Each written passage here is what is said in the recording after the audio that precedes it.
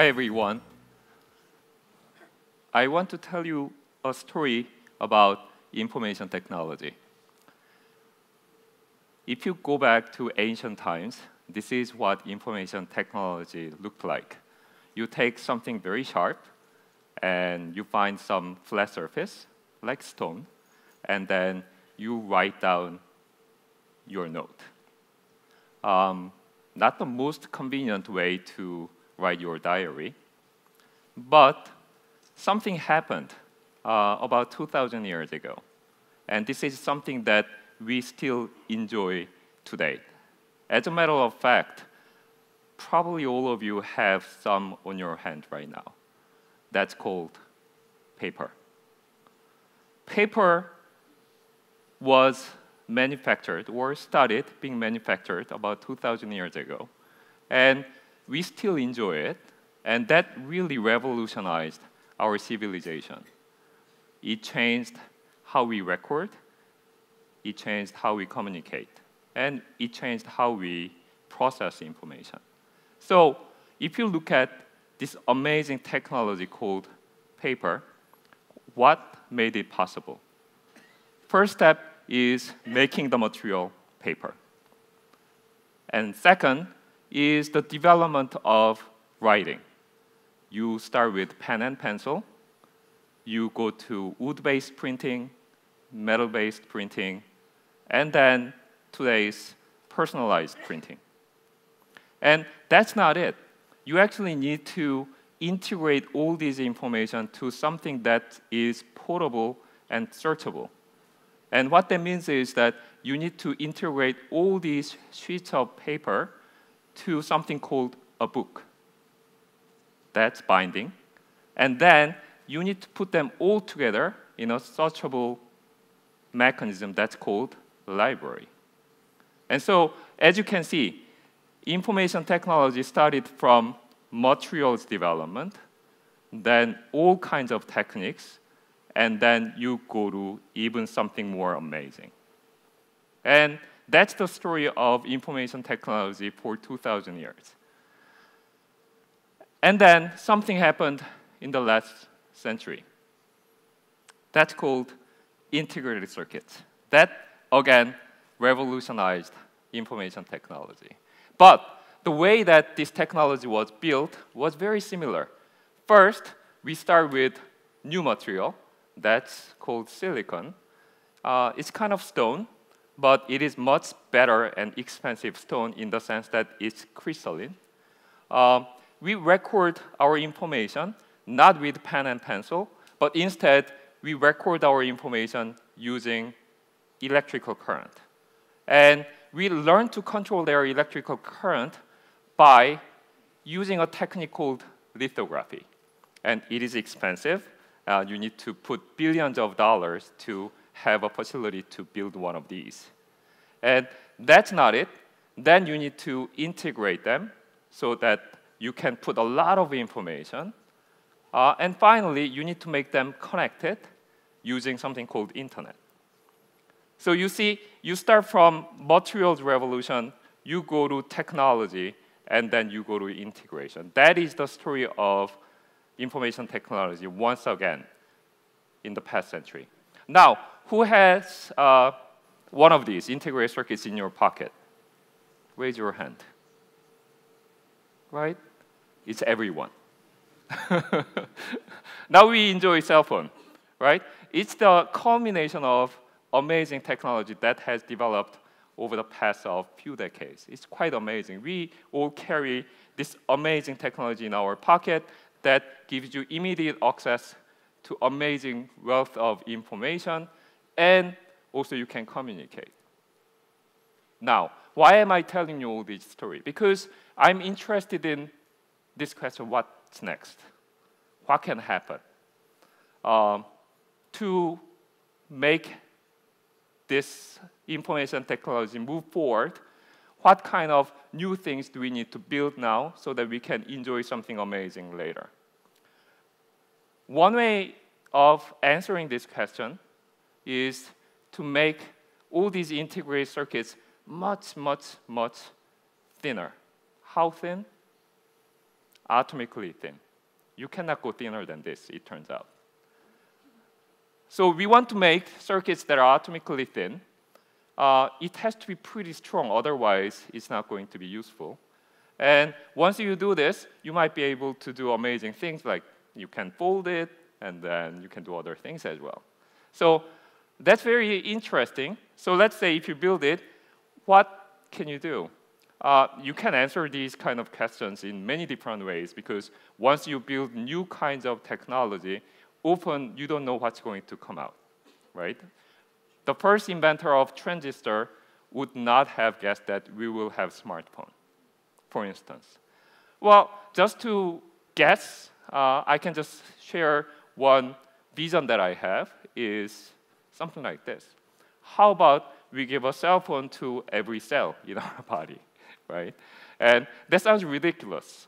But of course, you know, cell cannot talk to you. They cannot tell you a story. But if you can listen to them uh, very, with very simple words, such as, I'm hungry, it's too cold, I'm under attack. Wouldn't that be amazing? So for, to do this, well, we probably need something that is very flexible, light, and then thin. But at the same time, we should be able to put a lot of devices onto this tiny, tiny package. For that, it is possible that atomically thin circuits will do some good. So this is a very interesting story so far, I hope. Uh, but important question for scientists like us uh, is how to do it. What do we need it, right? So let's say you want to build integrated circuit that is very, very thin. Then somehow, somehow, people need to develop all these skills to be able to do it. So what are those skills? And it turns out that if you analyze what has been done in the manufacturing of books and manufacturing of integrated circuits, then you can get some very important clues. Let's look at books. If you want to generate integrated information platforms such as book, you first need to start with paper, high quality, big, cheap. Then you need to learn to write or color in a way that you like. Then you need to integrate them vertically, or you just need to bind them so that you can generate this integrated platform. And so we want to do very similar things with atomically thin materials and circuits. So let me just introduce you uh, the steps one by one. We want to generate paper or semiconductor that is atomically thin, first step. Two, we want to be able to combine different kinds of materials side by side, that is patterning. And then once that's done, we want to integrate them vertically, layer by layer. That looks like a book, right? So that's very straightforward. Well, if I say this, uh, you know, sentence like that's very straightforward to my uh, students, then probably they won't be very happy.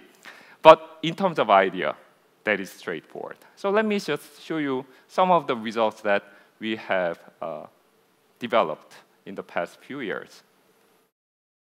This is a photo of a wafer uh, or glass substrate. On the surface of that, we actually have three atom thick semiconductor. So it is a film, it's so transparent you cannot see, but believe me, there is a semiconductor on it. It's only three atoms thick, and it's everywhere, and you can make devices out of it. And it turns out that on this wafer, we have thousands of transistors made with three atoms thick semiconductor. So we know how to do it. And it turns out that there are many kinds of different semiconductors and metals that are very, very, very thin. So researchers around the world are working toward realizing their properties in big scale. And we are working on that. So that is the first. We grow material with very good properties. Now, we need to be able to pattern them. So when you think about patterning paper, that's pretty straightforward. You start with paper and then you put ink on it. We really cannot do that with atomic materials.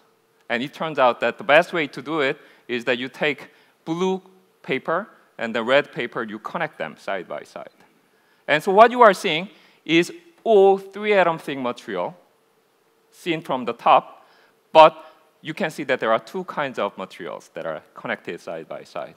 So this is a technique that we have been developing in my lab. Uh, and when you do that, and when you do it very well, they will be connected side by side with almost no defects or no errors. And that really encourages us that this might be possible uh, to be further developed. So that's two. Now the third step is to be able to integrate them vertically to make a book out of them. And the clue for that is can be found from, for instance, post-it notes. And if you look at post-it notes, they stick very nicely, right? Uh, and papers do not have very sticky glues either. And that's indeed very similar to what we did with our material. So post-it notes. Uh, and what you are seeing looks like post-it notes, right? So we have two kinds of atomically thin semiconductor. One looks brighter, one looks darker. And it's so thin that we had to use special microscope that's called electron microscope to be able to see this cross-section. And each layer is three atoms thick, and it is about six angstroms. Very, very thin. And we can put them on top of one another to make programmed elaborate structures as seen here. So now we have three skills that we taught ourselves, how to grow semiconductor or paper, how to pattern them, and how to stack them on top of one another. Uh, using these skills, I'm convinced that we ought to be able to generate integrated circuits that are big and then small and then flexible. What is next? Uh, we've had integrated circuits that's made out of silicon before. Uh, what new things can you do? And sometimes we are inspired by our childhood memories. And so our inspiration comes from, again, what you all know. Folding paper, right? So it turns out that when you look at paper, you write on it, but another thing that you do is that you fold. Why? I don't know. it's just fun, right? Because I believe we start with two-dimensional objects or something flat, and then you fold to mimic three-dimensional things, puppies, airplane.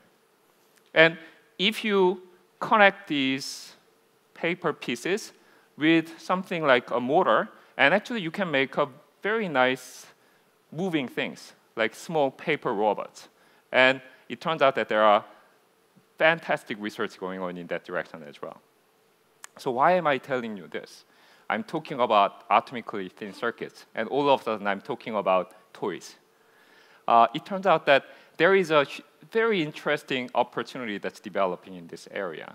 Um, before I go there, let me just show you this to answer the following question. How do we make three-dimensional objects out of just piece of paper? So if you look at this, then there is a paper, uh, and there, there, are a bunch of folding lines, right? So folding backward and folding inward. Uh, you can actually design this very carefully, and then if you fold them step by step, uh, following the sequence accurately, then you can pretty much design anything that you want to make. And can you guess what this will become if you fold them correctly? Well, it's hard, right? So I'm going to show you a video.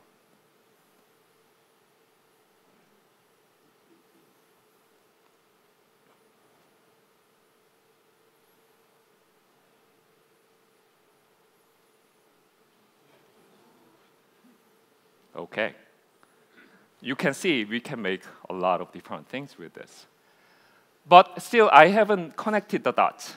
Uh, let's say we have a circuit that's made out of really, really thin material. And now, we have another technique that we have uh, in real life scale, how to fold paper to something that is three-dimensional. Uh, can you do the same thing? with atomically thin material. And it turns out that uh, what we do in real life can be done with atomically thin material as long as you scale everything down together. So what I mean by that is that let's say you have a piece of paper, you shrink it by thousand times, as long as the thickness of the material is reduced by thousand times, exactly by the same factor, then what you do will be identical. And this is actually what has been proven by my thesis advisor and long-time collaborator, Professor Paul McEuen at Cornell University. So what you are seeing is, well, the following. The top row shows all these real-life information or exam, examples that shows just regular paper art. You cut out, and then you stretch or you pull, uh, see what happens. And you just shrink this design to very, very, very small scale, roughly about 1,000 times. This time, you are not using regular paper. Instead, you are using one atom thick material in this case. That's called graphene. Amazingly, you can see that. So that graphene is visible at the bottom. And you see what results is very similar, real life and small scale. So this is the way that we make connecting the dots we start from big scale design, and if you work very hard at it, then we might be able to turn this folding or cutting paper art into something that is really small and therefore useful. So with this, there, there can be a lot of interesting things that you can try, or at least imagine. And since we, I don't have real devices, I'm going to just imagine what can you do, for instance? Let's say if you look at parachute, you have this big, big, big cloth. Uh, you cannot carry it. So you need to fold in, neatly into a bag. You carry it. When you need it, you unfold. What that means is that normally it'll be pretty big. But if you fold, it becomes tight package. And this ought to be useful when you want to deploy a lot of integrated circuits and devices into tight volume and then tight surfaces. So what that means is that it, this might be useful when you want to spray all your sensors or circuits or devices using aerosols or inject them using needles. It turns out that the size of a cell can pack a lot of devices using this approach you take something big and then fold to make it really, really tiny. That can be something useful. And another thing that I just mentioned a few minutes ago, but I didn't elaborate because it's very hard to do, is to make these circuits move. Wouldn't it be amazing if these circuits that has a lot of devices, transistors, even camera, uh, if we can move around upon outside the queue. We are working on it, and hopefully we can realize some distant future. If that is possible, then it, the reality will mimic what happens in a movie, right? Tiny, tiny robots or tiny, tiny sentinels that go into your body and report back to you about your health, for instance, or the clarity of sky, or how clean the air is. And this is an exciting future that we can dream of right now, but this is a dream that worth dreaming. Thank you.